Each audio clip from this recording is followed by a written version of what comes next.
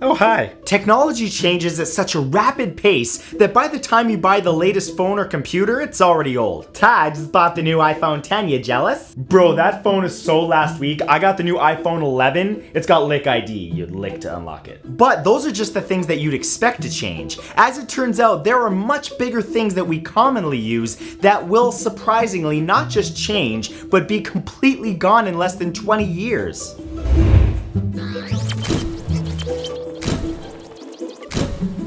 Here are 10 pieces of tech that won't exist in 20 years. Number 10 are rear view mirrors. Some of you already don't use these. I see how you drive. As the saying goes, you should always keep your eyes forward, but check your mirrors to see where you've been. Well, it won't be long before you won't be checking those mirrors at all. With the evolving technologies going into cars these days, the odds of companies using cameras over old school rear view mirrors is getting better and better each year. Not to mention that they will come standard with any driverless vehicle, which will also skyrocket in popularity in the coming years. Taz, there a ghost driving that car? Oh, it's a Tesla. Cameras are getting less expensive, adding to car companies' willingness to not only replace the rear view mirrors, but the side ones as well. 20 years from now, the only way to see a car mirror will likely, and ironically, to look back at it. Number 9 are phone towers. As technology advances, it also often shrinks, allowing the same work to be done while taking up less space. Such will be the case for phone towers, which will one day soon become so small that they won't be there at all. Some smartphones can already communicate with each other at distances up to 500 meters. This technology, which was dubbed LTE Direct, was developed by Qualcomm and has been in the experimental phase for a few years now, with mega companies like Facebook and Yahoo creating different applications for it. It uses the smartphone's LTE radio to connect to other devices within range directly, meaning that there's no tower needed in between them. As this technology advances, it will eventually eliminate the need for towers altogether, which is probably for the best, because have you ever seen a cell phone tower? It's not exactly pretty. They look like they were developed by people that used to walk 10 miles uphill towards school and 10 miles uphill back. Number 8 are remote controls. Yeah. Frantic searches for the television remote are almost unheard of now, but in 20 years they will definitely be a thing of the past. Billions and billions of devices are already connected to the internet, meaning that they could be controlled through a computer, tablet, or even your phone or smartwatch. Smart home assistants such as Google Home or Amazon Alexa allow you to control media devices with just your voice. Hey Alexa, who's the sexiest person in the room? You are Big Papa Pum. Damn right. Even fancy controllers for climate within the home will be unnecessary. You could literally just tell your assistant to warm things up a few degrees or cool things down if you want to chill. Wait, that already exists? Mm-hmm, my point exactly. Number seven are credit cards.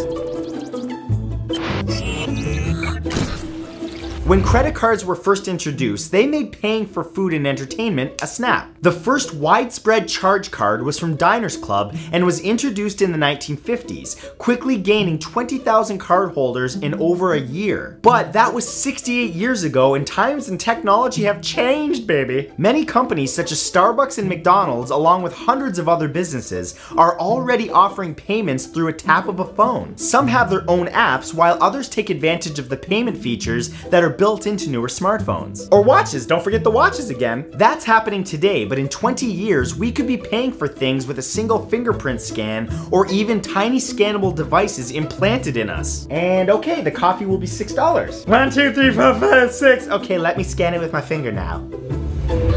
Number six are metal keys. Embrace the future and never lock your keys in your car again. The technology to completely replace physical metal keys already exists. It's only a matter of time before it completely takes over. New cars already have push button starters that only require a fob to be in close proximity, usually in a driver's pocket, on a key ring of keys that will also no longer be needed. Imagine doors unlocking and opening in buildings simply because your phone gets close to them. And you can already get locks that open with voice commands, retinal or finger fingerprint scans, or even just the right gesture. Hey Siri, I'm home. Believe it or not, you can even get a little RFID tag implanted in your hand so a sensor can see if it's you and physically open the lock. Although I wouldn't recommend that last one because they're gonna find you. They know where you are. Wear a metal hat! Number five is physical media.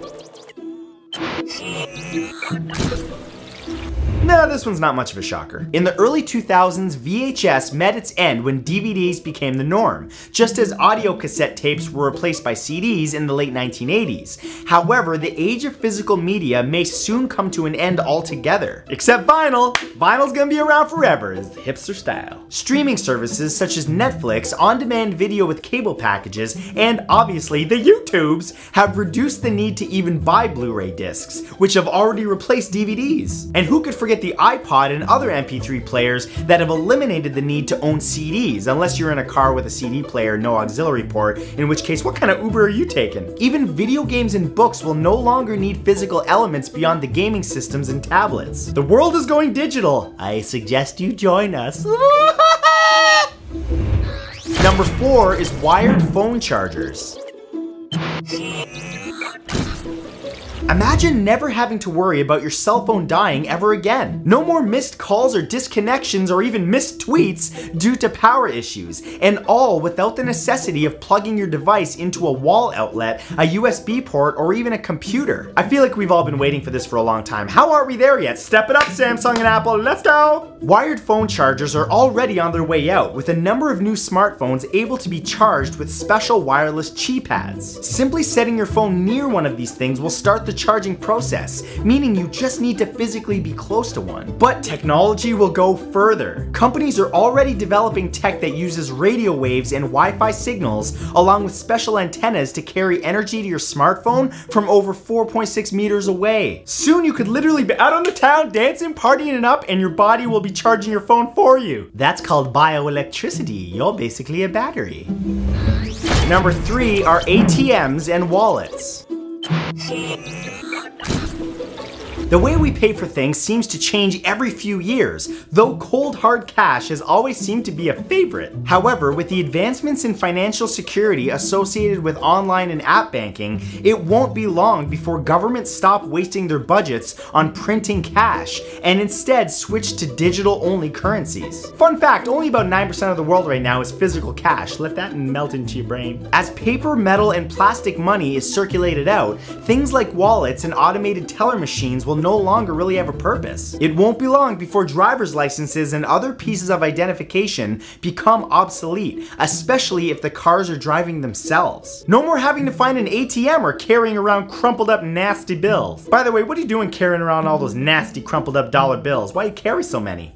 You going somewhere tonight? I know where you going. Filthy piglet. Number two are needles. Unless you're diabetic or have some other illness, you are not used to needles and you probably don't like them. Luckily for everyone, the era of the needle injection could very well be coming to an end. MIT has announced two different projects to end the terror. The first is a form of jet injection technology, which can shoot a substance faster than the speed of sound through an opening in your skin that's practically microscopic. The second method involves the patient actually swallowing a capsule with a needle inside of it. Yeah, I know. But it could be the safest way to deliver drugs, allowing the medication to be administered more efficiently. After the tiny needles inject the stomach lining, they are slowly destroyed by the digestive system. Let's just hope that all goes according to plan, because the last thing I want to do is be pooping out needles. And number one are cinemas.